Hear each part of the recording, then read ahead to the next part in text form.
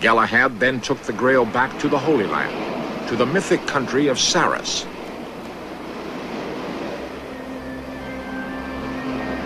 What was this Sarras? It was not told.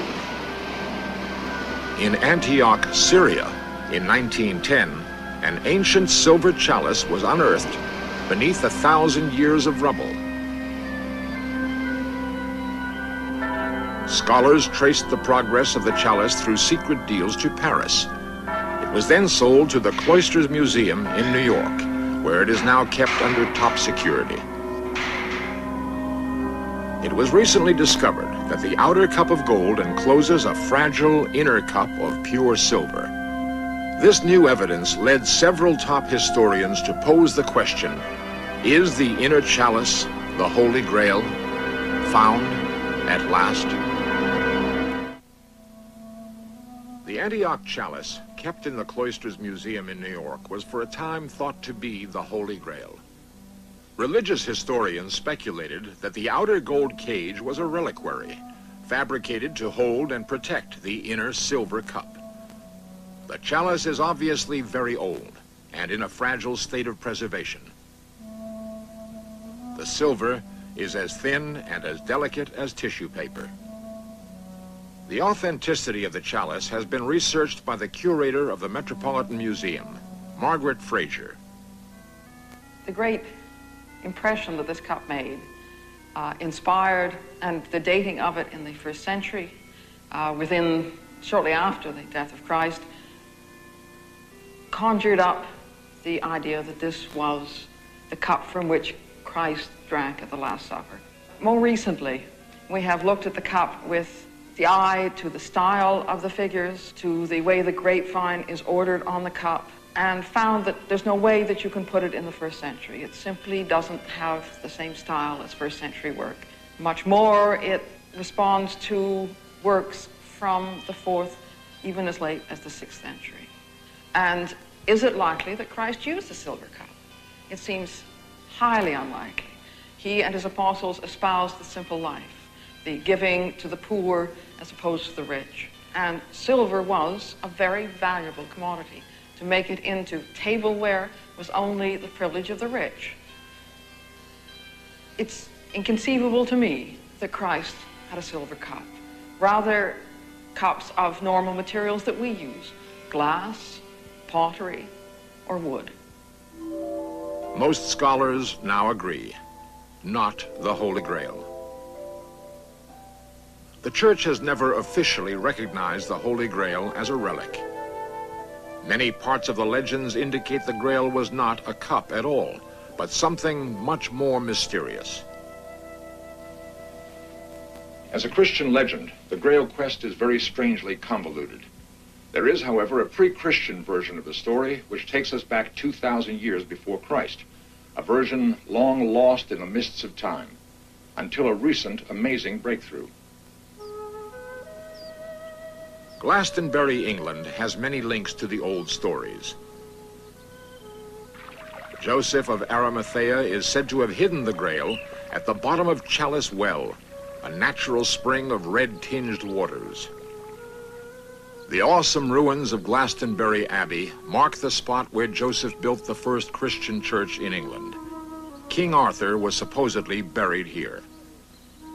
Many Christian cathedrals are constructed over the sites of ancient pagan temples.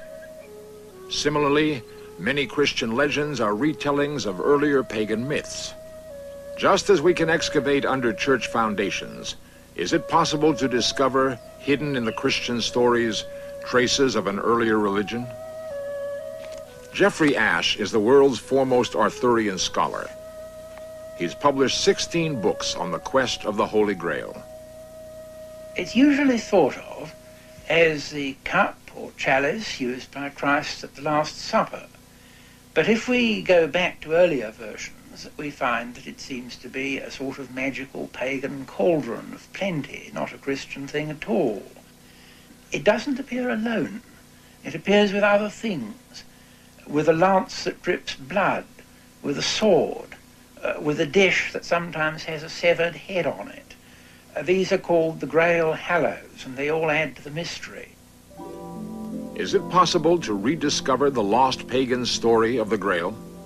Near Glastonbury Abbey is a very strange mound, 500 feet high and 2,000 feet long. Glastonbury Tor.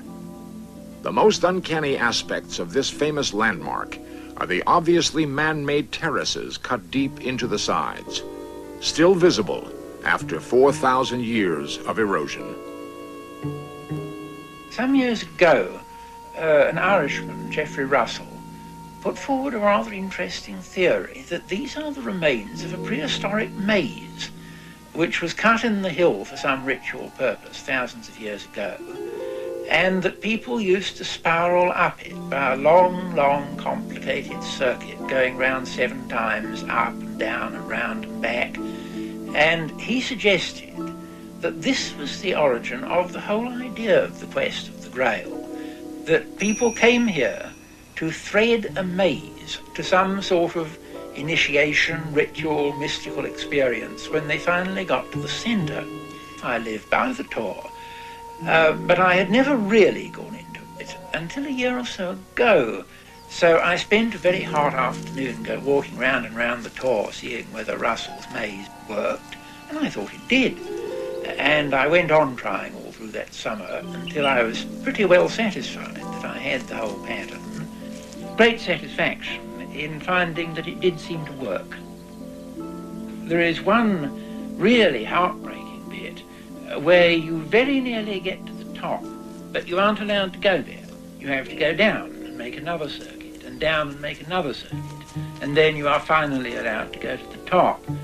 I think perhaps this is part of the secret of the whole thing. Perhaps there was a, a kind of lesson in it. Is there any other evidence which could corroborate such a radical theory that the quest for the Holy Grail was an ancient pagan ceremony inside a giant maze? The answer? A surprising confirmation.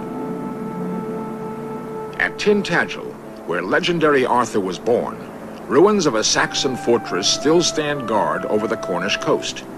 Pre-Roman ruins have been found beneath the foundations of the fortress. Ruins which date to the time of the ancient megalith builders in Britain, the time of Stonehenge. In a hidden valley beneath Tintagel, Geoffrey Ashe noticed a rock carving from the same era.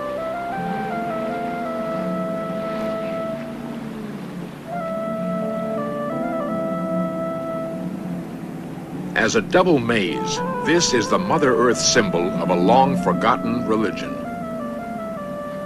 The same sevenfold spiral has been found in ancient Crete, Pompeii, and as far away as the Hopi Indian lands in America. No one had noticed any similarity between a small circular rock carving and a 2,000-foot long hill until Ashe obtained aerial photographs of the Glastonbury Tor, at first, he couldn't believe his eyes. He checked and rechecked his diagrams, counting terraces, noting all the turns and convolutions. The Tintagel rock maze leads in, out, in, out, and in to the center. The Glastonbury Tor maze, although stretched to fit the original hill, leads up, down, up, down, and up to the center. The patterns are exactly the same. When Ashe published his findings, a band of modern-day druids organized the first threading of the maze in 4,000 years.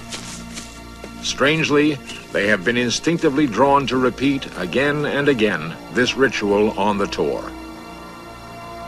For the first time, we have an insight into an ancient pagan rite.